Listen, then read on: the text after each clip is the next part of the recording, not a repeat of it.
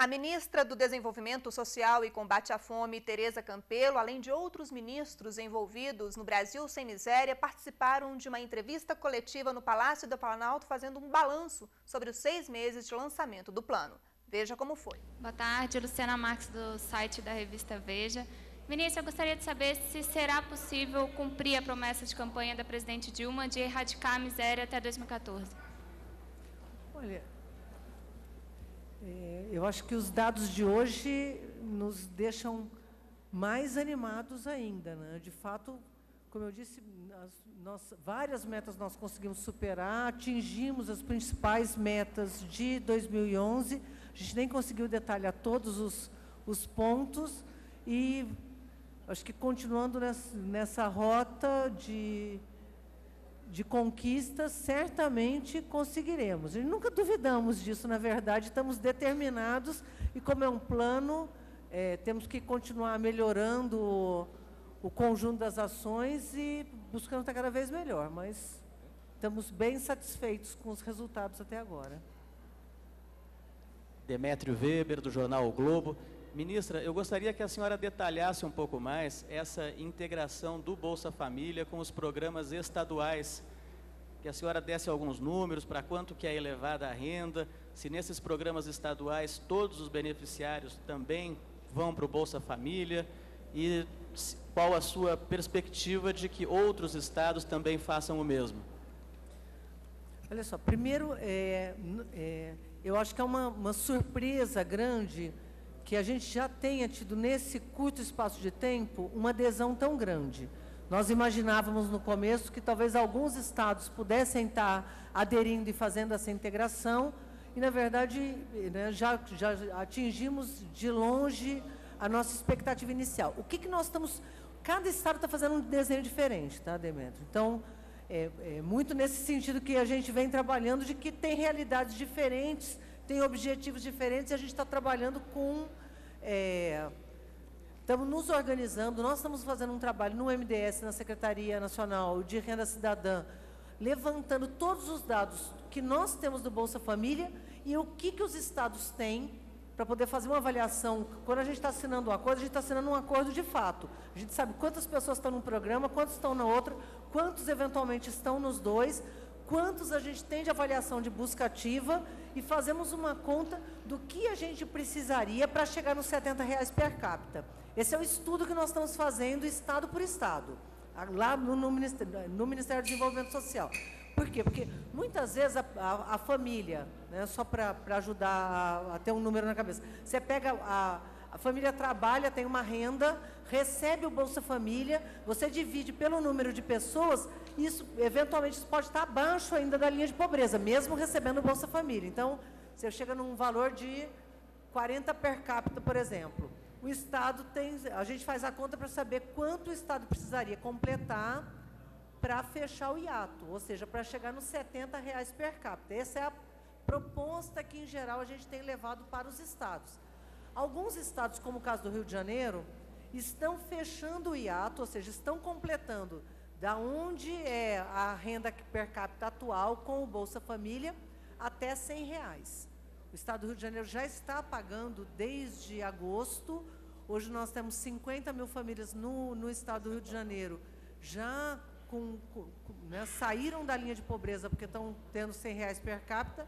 E em janeiro nós vamos ter 210 mil pessoas recebendo já com cartão integrado e já completando o hiato. Portanto, dá, fazendo uma, uma conta né, vezes quatro, certo? Daí quase 900 mil pessoas que a gente só com essa medida você já tira da situação de extrema pobreza, afora todo o nosso compromisso, que não é somente tirar as pessoas da pobreza do ponto de vista da renda, e é integrar os outros programas. Então, eu dei um exemplo do Rio de Janeiro. Alguns outros estados, como São Paulo, está completando o hiato até 70 reais e vai fazer isso dentro de um plano de trabalho que nós estamos construindo com o Estado. Porque às vezes você consegue fazer isso imediatamente e em outros casos você constrói uma, uma agenda até 2014, como é o caso do Estado de São Paulo, que o, o ano que vem o compromisso é, é, chegar em 100 cidades com menor IDH, né, exceto região metropolitana, e ir crescendo até 2014. Então, cada estado está fazendo um desenho diferenciado.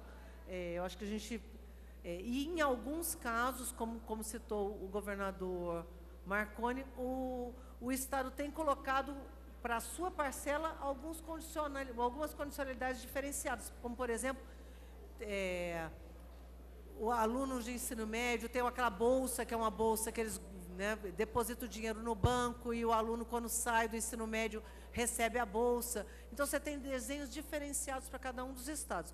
Nós até temos um, um mapa podemos oferecer para o que está em negociação, né? e tem um planozinho de trabalho. Então, é, então, essa conta que nós fizemos, que são os 3 milhões e 500 mil pessoas que saem da extrema pobreza até 2014, ela leva em conta o que os estados estão oferecendo para aportar o Bolsa Família e em que prazo.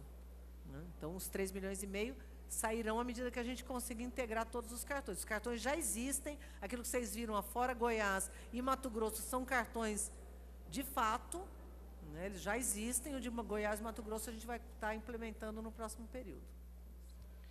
Eh, ministra, já é possível fazer essa conta numérica de quantos já saíram da extrema pobreza até agora, com esses programas que já foram assinados? Dos 16 milhões, assim, nós, o Brasil reduziu esse número em quanto? A gente só tem como fazer essa conta tendo ou uma nova, ou uma PNAD ou um censo. Você não tem como ter essa conta é, somente com as medidas. Com os cartões, a gente, eu posso te dizer do Rio que é quem está pagando hoje. São 900 mil famílias que vão receber em janeiro, portanto, a gente já teria seguramente como dizer isso. Né? Agora, os estados, todos aqueles cartões que nós mostramos, eles começam a operar a partir de janeiro e eles têm um calendário. Né? Então, o que está hoje pagando com complementação de renda, casado com o cartão Bolsa Família, é o Rio de Janeiro. Ministra, boa tarde, ministra. Gilberto Costa, da Agência Brasil. Ministra, duas questões. A primeira é tentativa de entender a razão do sucesso de ter conseguido é, mais rápido do que se imaginava, atingir 407 mil pessoas. Ou seja, é, qual era a dificuldade que havia para incluir essas pessoas? A sistemática das prefeituras, é, era a questão mesmo de fazer uma busca ativa e localizar as pessoas dentro de casa, inclusive. E a segunda questão, ministra, a presidente é, associou bastante o sucesso econômico do país à inclusão social, no discurso agora. Bom, eu pergunto à senhora se esse é, resultado mais recente do PIB do terceiro trimestre é uma coisa preocupante no sentido de uma, ser uma pausa né, nesse movimento de inclusão. com relação à busca ativa, é, eu acho que ele é a maior prova de que a gente está tendo uma mobilização mesmo no país. Né? Então, você tinha um ritmo né, e, e, uma certa acomodação, imagino, de todos, né, porque o Bolsa Família já tinha sido implementado fazia um tempo. Eu acho que vários fatores nos ajudaram a criar esse ambiente, a implementação de um cadastro novo, o chamamento da presidenta, a, a, a, a divulgação que nós estamos fazendo disso o tempo todo, e, ao mesmo tempo, esse processo de articulação e de integração do conjunto das equipes. Né? É, nós estamos, de fato, integrando. Você vê, tem algumas coisas que a gente não comentou aqui. Eu acho que o principal, a principal mobilização foi das prefeituras. Aí eu acho que envolve agente comunitário, envolve pessoal de assistência técnica, envolve o conjunto dos atores públicos. Existe uma certa pressão à medida que o assunto está né, tá sendo discutido e divulgado, ou seja, existe gente fora do cadastro, por que, que eles não entram? Então, isso é, é acende mais ainda o chamamento, e nós temos um conjunto de atores que têm nos ajudado, de correios, companhia de energia elétrica, companhia de saneamento. Hoje tem um cadastro funcionando bem, interessa não só para o Bolsa Família, mas para um conjunto de outras ações, como é o caso da tarifa social, né, como é o caso do Minha Casa Minha Vida. Então, o, o, o cadastro único, de fato, está se tornando um cadastro de políticas sociais. Eu acho que é um ganho não só para para o Bolsa Família, mas para o conjunto das outras agendas. Nós estamos com toda uma discussão de como unificar a nossa rede para ter conhecimento, né, já, já, estamos unificando com a rede de assistência técnica, né, Afonso, com os agentes comunitários de saúde, exatamente para poder ter informações que não seja só colocar essas pessoas na ter informações básicas, mas poder estar tá acompanhando como essas famílias evoluem, que é um objetivo nosso. Né? Não só se elas saíram do ponto de vista da renda ou não, mas se elas melhoraram sua situação de escolaridade, de saúde, como eu comentei o, o assunto da gestante, que eu acho que é uma, uma parceria fantástica que nós estamos fazendo e que é um resultado já do Brasil Sem Miséria, que tem repercussões na área de saúde importantes. Quer dizer, à medida que você criou o, a, o Bolsa Família, está sendo implementado para gestante para nutriz, rapidamente as pessoas vão querer fazer o pré-natal no primeiro mês, né? sabendo que está grávida, vai correr no posto de saúde. Por quê? Porque isso dispara já o benefício gestante e depois o benefício nutriz. Então, isso é um ganho do ponto de vista da saúde pública e também do, da nossa buscativa. A gente, a gente não comentou, tá? É, até porque foi né, uma, uma, cerimônia rápida, nós estamos com muitos números, muitas informações, é por isso que nós estamos com os ministros aqui, Padilha tem um monte de novidade para contar. E, então, vocês, a, a, ideia é que a gente também possa estar falando das, das outras ações, mas eu estou à vontade. Ah, desculpe. Olha, obviamente, quanto mais rápido o país crescer, melhor nós, mais rapidamente nós vamos criar oportunidades para as pessoas. Né? Então, e não dá para a gente abstrair, achar que nós vamos conseguir superar a extrema pobreza se o país parar de crescer. Né? Então, é fundamental, a presidenta sempre diz isso, que isso são duas estratégias que nos interessa que elas andem junto e que elas se fortaleçam. Então, primeira questão, é fundamental continuar crescendo. A outra questão, que foi um pouco que ela falou hoje, que é, para crescer, nós achamos que tem que incluir. Que é diferente, quer dizer, não, não é eu vou crescer e, à medida que eu cresço, eu gero emprego e as pessoas né, vão ser incluídas. É não. À medida que eu incluo, que eu gero renda, que eu transfiro renda, as pessoas conseguem consumir e conseguem fazer a roda da economia se movimentar. Portanto, nós temos um colchão hoje que envolve programas de transferência de renda, não só o Bolsa Família, que envolve o Seguro Safra, que envolve o Pronaf, que envolve um conjunto de, de políticas públicas né, do governo federal, do governo estadual, que garante uma dinâmica básica na economia que garante que a gente não desça tão fundo em momentos de crise e, ao mesmo tempo, se recupere mais rápido e consiga fazer o país estar se movimentando. Então, não é, eu acho que as, as duas coisas estão se ajudando. Né? Agora, é, você tem que ir ajustando também, porque o plano é um plano dinâmico, né? À medida, a gente, por exemplo, hoje nós continuamos, independente da taxa de crescimento que nós vamos ter no próximo período, Hoje falta mão de obra qualificada no país em todas as áreas. Certo? A gente tinha uma, né, um, um, chamamento gigantesco que continua tendo. Em todas as áreas, hoje, falta gente qualificada para a construção civil, para a área de serviço, para a área de comércio. Né, falta cuidador de idoso, falta do cuidador de criança, falta auxiliar de cozinha, falta pintor, falta azulejista, falta médico, falta enfermeira. Portanto, nós precisamos qualificar e esse nosso público tem uma oportunidade. Então, nós temos hoje vagas que não estão sendo ocupadas e que são oportunidades que a gente quer colocar esse público né, e vagas, quer dizer, e, e, e oportunidades também na agricultura familiar, oportunidades de pequenos negócios. Então, nós temos como incluir esse público à medida que eles entrem e sejam incluídos, o país vai se desenvolver mais ainda. Boa tarde. Aqui Vinícius Sassini, do Correio Brasiliense. Ministra, no balanço a senhora falou em 315 mil cisternas, levando em conta o que está sendo construído, licitado. O Ministério da Integração Nacional recebeu um crédito de 161 milhões para serem gastos nesse ano, não gastou nenhum centavo ainda. E uma associação no semiárido, que é parceira do governo Lula desde o início, deixou de receber 80 milhões para a construção de cisternas, a AP1MC. Eu queria saber se essa parceria está rompida e que 315 mil cisternas são essas. E sobre o Bolsa Verde, ah, o balanço falou em 9.200 bolsas. O dinheiro liberado até agora foi, é, é suficiente para pagar somente 3.500 bolsas. Eu queria saber onde é que estão essas outras 6 mil bolsas. Obrigado. Então.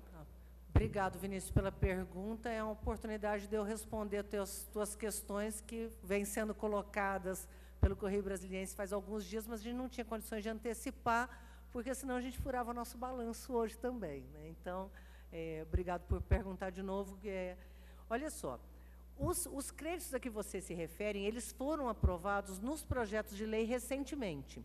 Vocês todos que acompanham é, o gasto público, o orçamento público e as políticas públicas, sabem como funciona, né, à medida que a gente, o projeto de lei é aprovado, dispara um conjunto de atos do poder público que têm que ser cumpridos para que a gente possa seguir o processo orçamentário.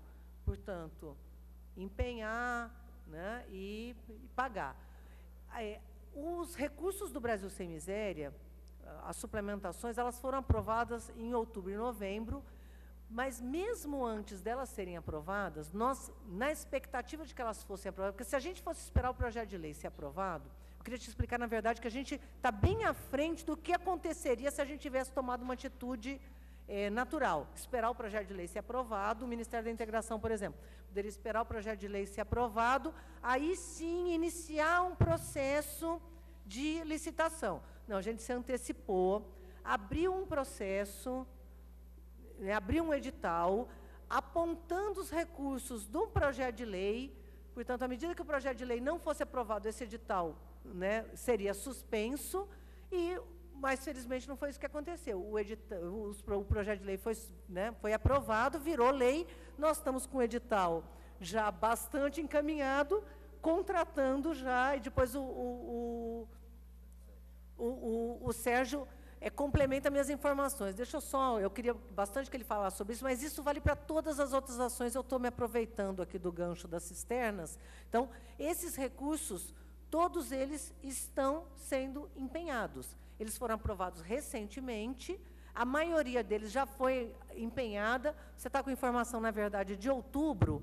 Como vocês todos que acompanham políticas públicas também sabem, o mês de dezembro é um mês que é aquele período onde a gente assina os convênios, na verdade, se muita coisa você executa do ano anterior, você passa uma parte do ano executando restos a pagar do ano anterior e no, no, nos últimos dois meses você acaba entrando num processo de empenhamento né, grande e vai executando ao longo do período. Então, a gente, nesse caso, está somando dois assuntos. Um, os projetos, a gente nem teria como gastar antes, porque os projetos de lei foram aprovados agora. Então, nós, na verdade, nos antecipamos, e isso foi uma, uma, uma medida bastante eficiente, não só do Ministério da Integração, mas da área de cisterna nossa também, do, do MDS, porque vai permitir que a gente, ao empenhar, não fique parado janeiro, fevereiro e março, que é uma coisa tradicional. Se você não consegue ter recursos empenhados em novembro e dezembro, o tradicional é você passar janeiro, fevereiro e março parado, por quê? Porque o orçamento não abre.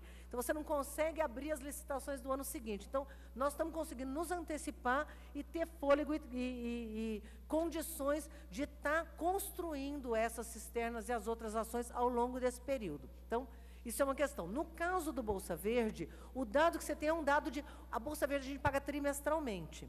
Né? Então, no mês de outubro, a gente, a gente pagou 3 mil, não, não, não, eu posso até te passar o dado direitinho, vou falar de cabeça aqui, 3.500 famílias, depois mais 3.500, né? Então, agora em janeiro, por exemplo, nós vamos pagar as 3.500 de outubro.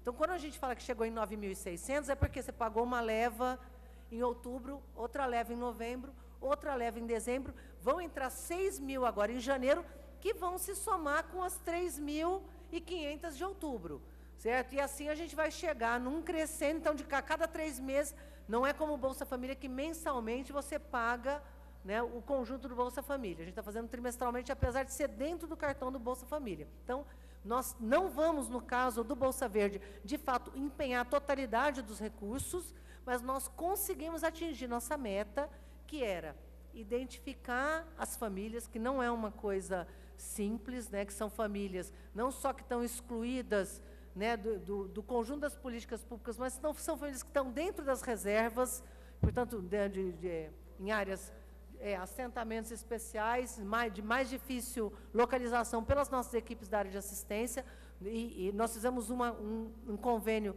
tanto com o INCRA quanto com o ICMBio, localizamos essas famílias. No caso do Bolsa Verde, não é só localizar e pagar, por quê? Porque nós temos que identificar um ativo ambiental. Nós temos que ter responsabilidade, porque essa bolsa ela não é uma bolsa como contrapartida da pobreza. A família tem que ser uma família pobre, extremamente pobre, mas ela também tem que ter um ativo ambiental e esse ativo ambiental tem que ser inventariado. E ela tem que se comprometer a cumprir um conjunto de é, acordos para que a gente é, né, consiga chegar no nosso objetivo, que é que a, o, esse ativo ambiental seja conservado. Então, no caso do Bolsa Verde, nós temos um ritual que teve que ser seguido e nós estamos querendo ser muito rigorosos. Por quê? Porque essa é uma medida completamente inovadora no mundo. Nós queremos que ela seja bem sucedida porque ela vai ser um bom exemplo para que prospere o pagamento por serviços ambientais, não só no Brasil, mas no resto do mundo. Portanto, a gente tem que ser muito sério no que nós estamos fazendo. Então, agora nós estamos bastante tranquilos porque nós conseguimos atingir nosso objetivo e temos certeza que vamos chegar nas 73 mil. Então, quando você olhou o orçamento, você viu o orçamento de outubro, que era a primeira leva, agora ele vai acumulando. As 315 mil, não sei se você chegou a ver o... Ah, tá, o, o, o dado, né? Eu estou sem o dado aqui, Janine. Não. Das, das... Onde são as 315 mil? pessoa está sem óculos. Cadê aquela minha folhinha das 87 mil parará? Ah, vai lá. Deixa eu só responder da P1 é, MC.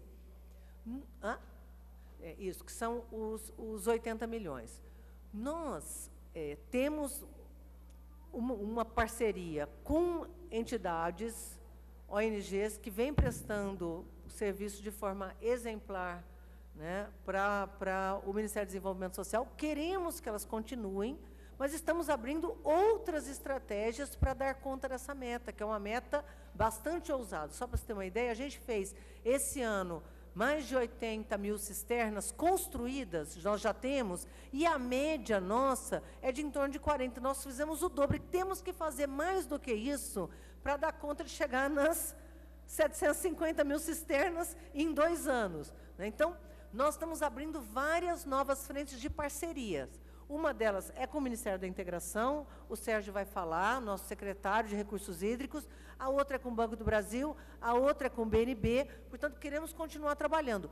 Os recursos, os 80 milhões, não eram para ser trabalhados com as ONGs esse ano, porque nós não tem, tem, teríamos condições de abrir um edital com ONGs. Para começar, nós estamos é, é, nós estamos conveniando esses recursos com os nossos governos estaduais, que têm sido parceiros também ao longo desses oito anos, nove agora, construindo cisternas. Então, a parte dos recursos está indo para Pernambuco, a outra parte para o Ceará, a outra parte para a Bahia. O Maranhão, pela primeira vez, está conveniando com o governo federal também para fazer cisternas, porque, apesar de não ser semiárido, também enfrenta problemas de falta de água com a Bahia assim por diante. Então, nós estamos conveniando com os estados para garantir que a gente consiga executar de forma eficiente essas cisternas. Eu te passo depois os 315, quantas estão, foram entregues, quantas estão em construção, etc. Certo, desculpa, tá, te atravessando.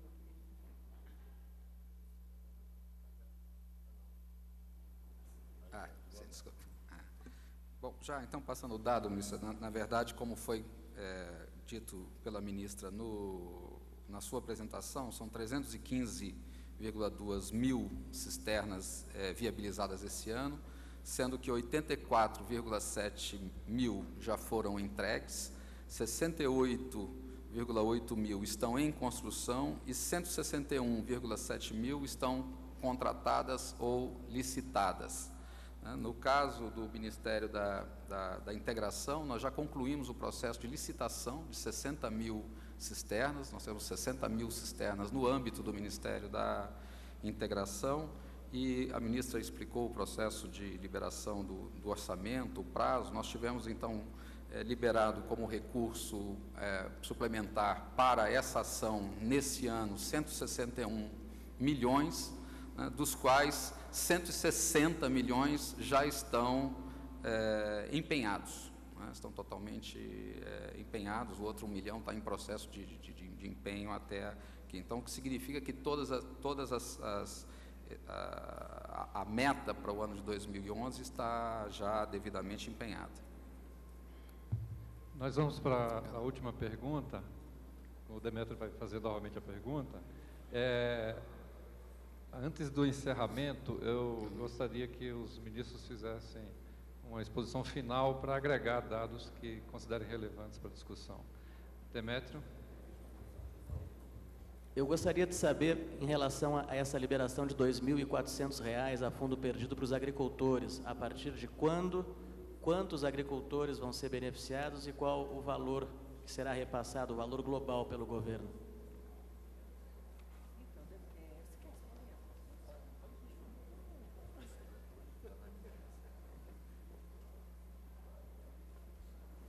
Então, é, só retomando um pouco como que era a nossa lógica, esse dinheiro não é um dinheiro é, que entra automaticamente só por condição da, da situação de extrema pobreza. Ele é um recurso vinculado à produção. Então, nós estabelecemos um, um, uma, um processo que é conjunto aqui trabalhado nós com, com o Ministério do Desenvolvimento Agrário, onde primeiro a gente fez os editais de assistência técnica. Por quê? Porque nós queremos ter uma assistência técnica voltada para esse produtor. Esses são editais do Ministério do Desenvolvimento Agrário, feitos especialmente para esse público do, do, do, Brasil Sem Miséria. A gente tem o nome do agricultor, fizemos um edital priorizando esse edital, fizemos a busca ativa. Esse edital, ele é um edital muito interessante, né, para quem tiver interesse, eu acho que vale a pena olhar, porque ele, ele olha e prioriza no território técnicos de nível superior e de nível médio que sejam daquela região, aproveitando inclusive o conjunto dos engenheiros agrônomos, técnicos, zootecnistas, tec, técnicos agrícolas que estão sendo formados nas nossas universidades que foram interiorizadas e que estão sendo formados nas nossas escolas agrícolas que também é, é, nós conseguimos inaugurar muitas e muitas estão funcionando. Nós estamos tendo um, uma é, é, a formação de muitos técnicos, portanto, uma oferta importante de gente do território que tem como se relacionar melhor, conhece a, a região, etc. Então, nós primeiro fizemos essas chamadas de assistência técnica, os técnicos foram a campo, certo? identificaram essas famílias, com essas famílias fizeram um plano de trabalho, né? então, em, a maior parte delas recebeu semente, em outros casos tem uma avaliação de é, se é matriz. Pode, pode. É, só, só para ajudar, é, a 10 mil receberão as sementes. As sementes está, estão disponibilizadas para todas as 27 mil é, famílias selecionadas pelo Busca Ativa e as sementes serão distribuídas de acordo com o cal calendário agrícola, que é decorrente do zoneamento e da gestão é, de política agrícola pelo Ministério da Agricultura, Pecuária e Abastecimento. 10 mil já receberam, nós superamos a meta de inclusão, fizemos todas as chamadas públicas, todos os estados do Nordeste foram contemplados, já fizemos também chamadas públicas específicas para comunidades quilombolas e o, o fomento ele será aplicado de acordo com o projeto de estruturação produtiva da unidade produtiva rural. Ele é um fomento para ser aplicado à produção, vai no cartão do Bolsa Família, mas as famílias selecionadas terão orientação técnica para que aquele recurso seja aplicado para o adensamento, a, a, o aperfeiçoamento da produção. E é, serão três parcelas, como se sabe, o total de três parcelas de 800 reais e cada parcela condicionada ao desenvolvimento do projeto de estruturação produtiva e a prestação de conta feita pela empresa selecionada pela, pela chamada pública. Então, estamos plenamente dentro do calendário e, como a medida, o decreto foi assinado pela Presidenta da República hoje, está tudo engatilhado e nós temos condições de de acordo com o calendário agrícola, de acordo com os planos de estruturação produtiva das unidades rurais, as famílias gradativamente, aquelas que tiver sido identificado o perfil de demanda do fomento, se todas forem, nós vamos avaliar, mas há critérios técnicos de inclusão produtiva agrícola para a destinação do fomento. Então, essas famílias que receberam assistência técnica, que receberam o técnico, fizeram um contrato do que vão fazer com esse recurso, elas já vão receber agora em janeiro. Mas é um número de famílias determinado, porque você não recebe o dinheiro independente da produção. Tem algumas famílias que já estão identificadas, mas se a produção é só em. Se, se o crédito, se esse recurso, que é fundo perdido, mas ele estiver vinculado alguma ação produtiva que só vai acontecer em agosto, você não vai dar o dinheiro agora, você só vai dar em agosto. Né? E aí vai a primeira parcela, essa parcela vai ser usada ou para fazer uma cerca, pequenos concertos, montar o galinheiro, né? Então, é um, são projetinhos específicos, nós estamos falando de famílias pobres, né? Portanto, 3 hectares, 10 hectares, 20 hectares e é, uma produção que é uma produção bastante é, difícil, ainda frágil, porque nós estamos falando de famílias no semiárido, certo? Hum? É. Nós estamos com 27 mil famílias que já poderiam estar recebendo nesse próximo período. Certo? Tem 37 mil, 37 mil famílias que receberam, desculpe, que receberam assistência técnica, 37 mil famílias receberam assistência técnica este ano. Elas estariam aptas para começar a receber as parcelas no próximo período. Em janeiro, serão duas mil receberão fomento. Por quê? Porque isso é o que eu estava dizendo, eles estão vinculados ao calendário agrícola. Certo? Então, não necessariamente você vai ter necessidade de investimento, portanto, o recurso só vai ser é, depositado à medida que a, a, produção vai acontecendo. Nós vamos ter mais uma pergunta antes do encerramento, vamos conceder.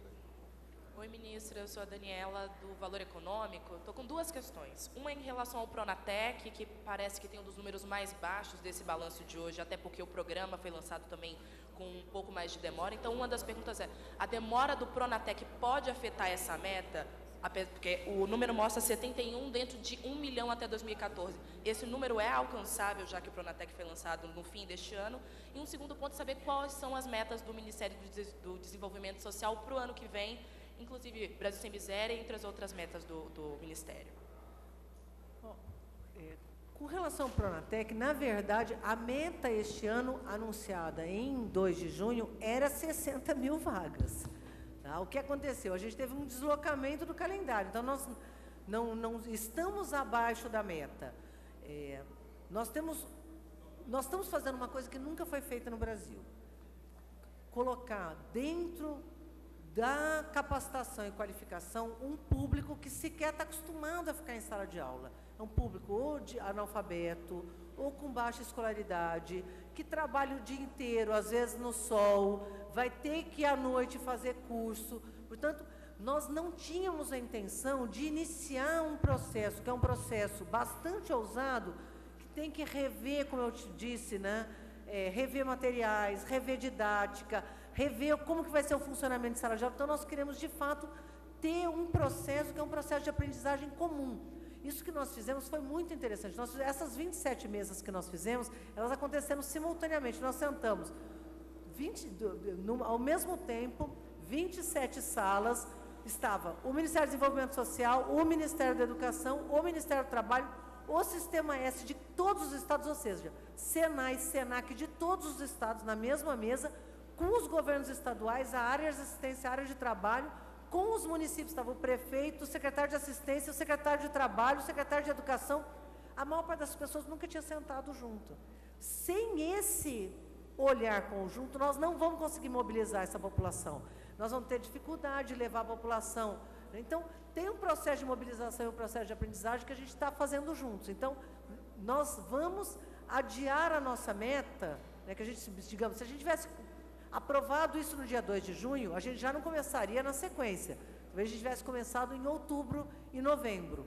Né? Nós tínhamos condições de começar agora, estava tudo pronto.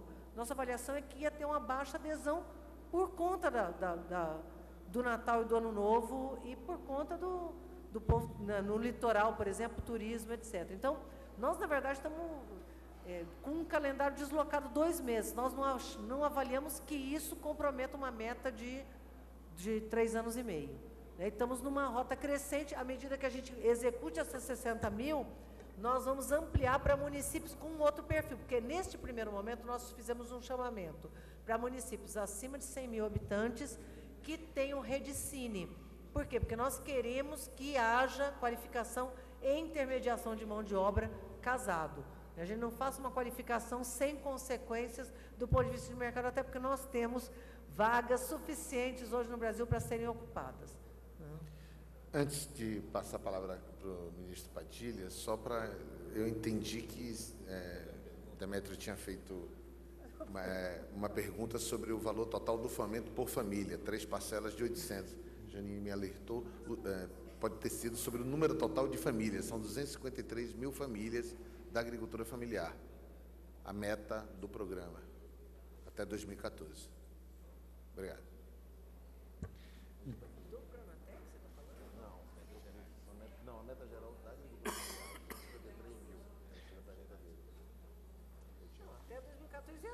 continuam as mesmas metas nossas de, do lançamento. Né? Essas da agricultura familiar eu já estou considerando o piso, né, Afonso? Nós, do ritmo que nós estamos indo, nós vamos conseguir é, atingir, é, chegar num público com mais eficiência, até porque tiver uma adesão da, do, do, do, da rede de supermercados, portanto não depende só de compras públicas. No, no Pronatec é um milhão, é, e assim eu posso até te passar o, de passar detalhadamente, nós continuamos com todas as nossas metas. Nós temos agora detalhado, isso sim, um conjunto de, de ações que estão em andamento na área social que a gente não tinha lançado quando do, do né, no dia 2 de junho, que também cumprimos todas as nossas metas. Valia a pena o, o nosso ministro Padilha falar um pouco também. Vai lá, Padilha. Então vamos para as considerações finais, começando pelo ministro Padilha, se após o ministro alguém quiser complementar. Incólume aqui, sem precisar falar. Vou responder as perguntas do Afonso e da Tereza Campelo aqui. Mas só reforçando um pouco da, da pergunta feita, acho, pelo, pelo jornalista da, da Agência Brasil, acho que a, além do esforço, da divulgação, daquilo que a ministra Tereza Campelo falou, da priorização é, do tema ter surtido fortemente na busca ativa, eu acho que também a mobilização do Brasil Sem Miséria gerou a criação de novas formas de organizar os serviços campo da saúde, na educação, na assistência social, é, aquilo do Estado se reorganizar para ir atrás de onde o pobre, o mais pobre está, que eu acho que também são decisivos é, na, no alcance das metas. Vou citar alguns exemplos da saúde. Né? Nós criamos essa modalidade do consultório na rua, que é uma nova forma de organizar a atenção básica. Né? É você levar os consultórios trabalhando em horários até meia-noite, uma hora, em horários alternativos, exatamente para buscar as pessoas que vivem em situação de rua. E numa ação conjunta com os profissionais do SUAS, da assistência social, os agentes comunitários da saúde, isso contribuiu fortemente para a busca ativa. Né? A nossa meta era implantar oito novos, nós implantamos 19 novos e terminamos o ano com quase 90 consultórios na rua que buscam a população que não era alcançada pelas equipes. Né? É, nós criamos um incentivo de qualidade para atenção básica, onde o Ministério da Saúde pode até dobrar o que repassa para uma equipe de atenção básica, desde que ela cumpra alguns indicadores de qualidade do atendimento, recebe mais quem atender melhor. E um dos indicadores é exatamente fazer a busca ativa, os agentes comunitários de saúde, os médicos da família, as equipes de saúde da família, fazerem a busca ativa das pessoas que estão abaixo da linha de pobreza no seu território. Então, é um estímulo financeiro para quem faz isso. Né? Nós criamos, através, uma parceria com o Ministério da Educação, o, o, o Saúde da Família na Escola, que é o que? As equipes de saúde da família agora vão para as escolas, né, não acompanham só as crianças nas suas casas. A meta eram 1.500 cadastrados, nós dobramos, superamos a meta, nós conseguimos cadastrar até o final desse ano 3 mil equipes nessa ação da saúde na escola, aonde é, nessa avaliação que é feita lá na escola, é feita avaliação oftalmológica, auditiva, que pode ser decisivo, inclusive, para a evolução dessa criança, ou seja, além do esforço da prioridade política, essa prioridade política tem feito com que nós reorganizamos, estamos reorganizando o Estado, a forma como se organizam as políticas públicas, exatamente para estarem mais preparadas é, para alcançar a população que está excluída. E um exemplo disso é as próteses dentárias. Nós vamos terminar o ano com o recorde de próteses dentárias realizadas pelo Sistema Único de Saúde. No caso da população em extrema pobreza, que a nossa meta era chegar a 200 mil próteses dentárias, nós vamos chegar a 240 mil próteses dentárias. Isso também por reorganizarmos a, forma, a, a modalidade como ela é feita. Né? Tradicionalmente, ela era feita através dos laboratórios de prótese, nas equipes que ficavam nos centros de especialidades odontológicos nos céus.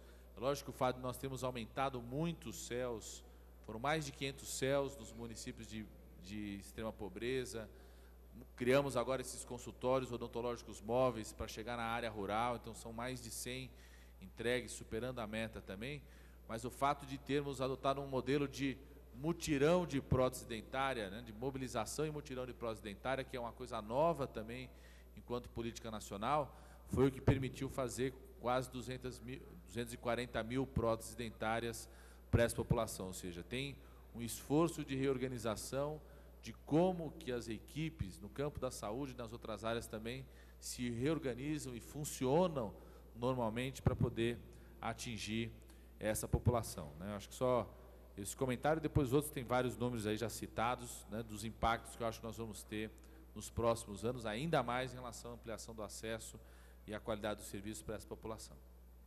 O secretário Sérgio Castro tem comentários adicionais.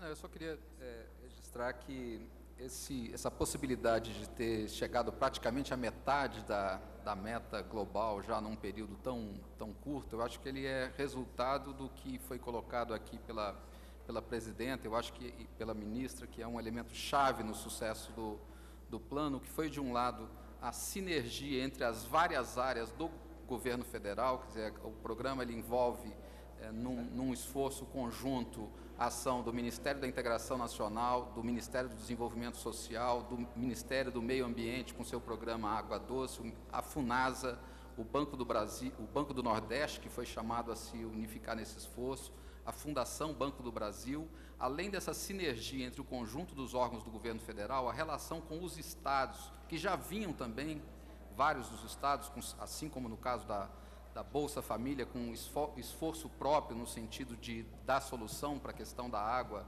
especialmente na questão do Nordeste. Então, o envolvimento dos estados, o envolvimento das prefeituras, com vários consórcios de prefeituras, e o envolvimento da sociedade civil nas mais variadas formas. Nós temos um conjunto de arranjos com essas instituições que eh, estão possibilitando e nos dão a certeza de que nós vamos cumprir essa meta dos 750 mil cisternas de consumo, e não apenas as cisternas de consumo, nós temos também uma meta no campo da água para produção, de 150 mil cisternas de produção, 20 mil kits de irrigação e 3 mil pequenos barreiros, que é uma ação de água para produção que se dá suporte também às ações de inclusão produtiva que estão sendo feitas aqui em várias, em várias áreas. Era isso, obrigado.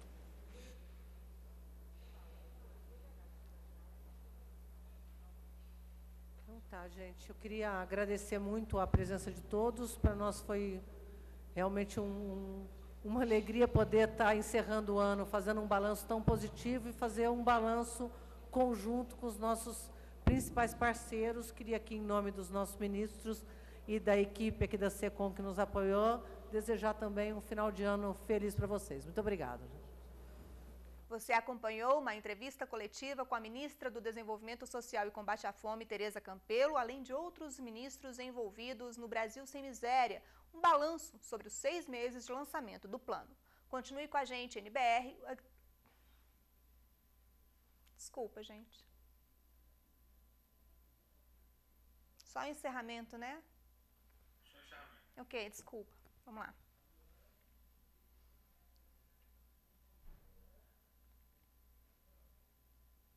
A ministra do Desenvolvimento Social e Combate à Fome, Tereza Campelo, além de outros ministros envolvidos no Brasil Sem Miséria, participaram de uma entrevista coletiva no Palácio do Planalto, onde foi feito um balanço depois do lançamento de seis meses do plano. Continue com a gente, NBR, a TV do Governo Federal.